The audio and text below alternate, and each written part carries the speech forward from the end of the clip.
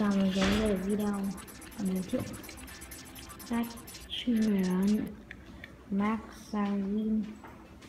Khi dùng thì đã cài chạy hệ điều hành song song. Ok. Mở lên như bình thường.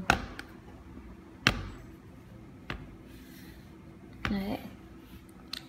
Nhắc mình nhắc lại nha, đây không phải giao diện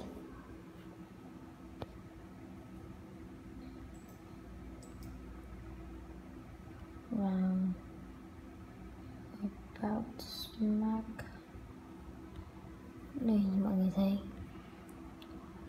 Cái Mac này là dùng đây.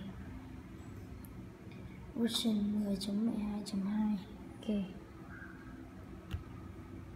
Rồi, đây, cách di chuyển. Đây chỉ là cách di chuyển sau khi cài đặt xong. Cách cài đặt thì mời tham khảo trên mạng. System Preferences. Startup Disk thì dừng lệ Apple giúp bảo mật mình nhập ổ khóa này. Rename lại.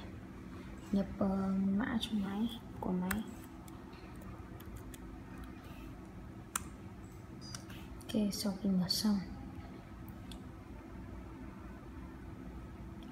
Mở xong chọn bootcamp.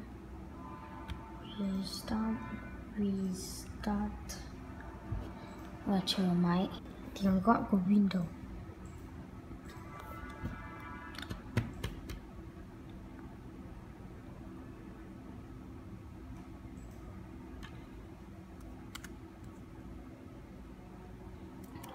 Lần nữa lại nhấn mật khẩu.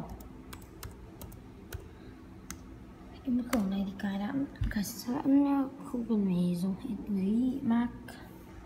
Rồi đây chính là Windows chạy trên một con máy Mac có